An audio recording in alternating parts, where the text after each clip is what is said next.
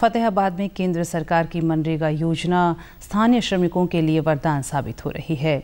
तीन सौ बीस रुपये प्रतिदिन मानदेय मिलने से श्रमिक काफ़ी खुश नज़र आ रहे हैं। योजना के तहत कार्य करवा रहे सुपरवाइजर तुलसीदास ने बताया कि उन्हें लालवास माइनर नहर का कार्य सफ़ाई हेतु मिला है।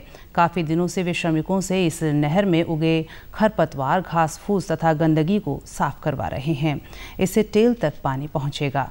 वो कर रहे हैं तो उससे हमारे को भी मजदूरी मिलती है और हम चाहते हैं कि हमारे किसान भाई जहाँ तक जो नहर है, वहाँ तक पानी की सप्लाई बढ़िया तरह से हो सके जी।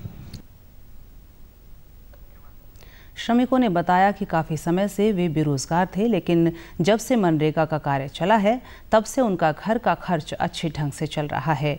उन्होंने कहा कि कृषि तथा अन्य क्षेत्रों में अब काम मिलना कम हो गया है, इसलिए मनरेगा योजना उनके लिए वरदान साबित हुई है। इस योजना ने श्रमिकों की दशा को सुधारने का काम किया है।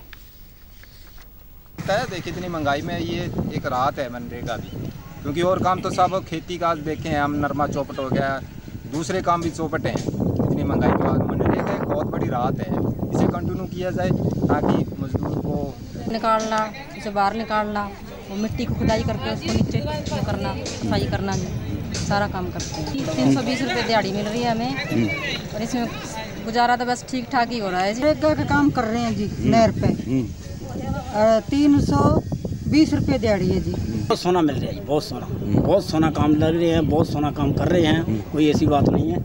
बहुत सोना प्रोग्राम है।